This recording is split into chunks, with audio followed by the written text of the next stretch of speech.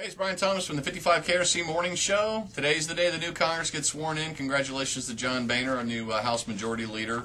Uh, I hope he's learned something uh, over the course of the last several years, particularly over the course of the last two years. With all the hard economic times and the rise and um, prominence of Tea Party, thanks to the Tea Party folks for bringing him back to power, frankly.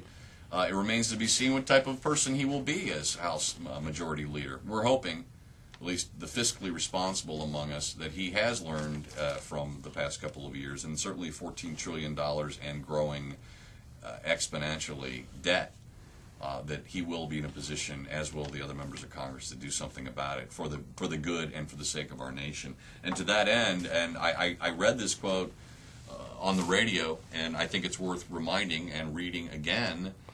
Our president, Barack Obama, feels the same way, or at least he used to. I'm going to wait and find out what he has to say about this debt ceiling issue, but I don't think Barack Obama is going to really want to cap it or leave it where it is. It seems to me he's the type of guy that wants to keep government running and to keep spending and spending and spending. That has been his mantra, and that is his socialist ethic.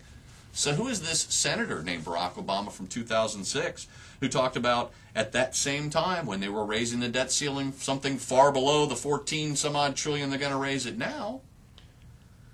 The fact that we're here today to debate raising America's debt limit is a sign of leadership failure. It's a sign that the U.S. government can't pay its own bills. It is a sign that we now depend on ongoing financial assistance from foreign countries to finance our government's reckless fiscal policies. Increasing America's debt weakens us, domestically and internationally. Leadership means that the buck stops here. Instead, Washington is shifting the burden of bad choices today. This was 2006, remember. On the backs of children and grandchildren. America has a debt problem and a failure of leadership. America deserves better. That was Senator Barack Obama. I doubt you'll be hearing from that man over the course of the next few months. We do have a debt problem, a debt problem brought about by spending. Spending is the problem. The programs that give rise to the spending may ultimately be the root of the problem, meaning you need to deal with the problems giving rise to the spending issues. Medicare, Medicaid, Social Security, you got military in there, and I tell you, all non discretionary spending as well everything.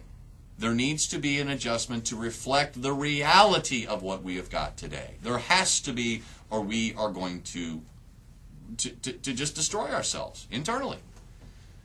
So, bring back this Barack Obama and let him speak on this in this manner when we start talking about raising the debt ceiling. And then we can have an adult conversation, going back to the words of Mr. Boehner, congratulations again, an adult conversation about why we need to keep the ceiling where it is and never again raise it. We're tapped out. And I don't feel like my children deserve having to pay the bill, and I know they don't think their kids, whenever they have them, are going to feel like paying our bills either. Have a great day. Walter Williams scheduled to be on the program tomorrow, and I am indeed excited about talking to him, one of my favorite folks. Take care. Have a great day.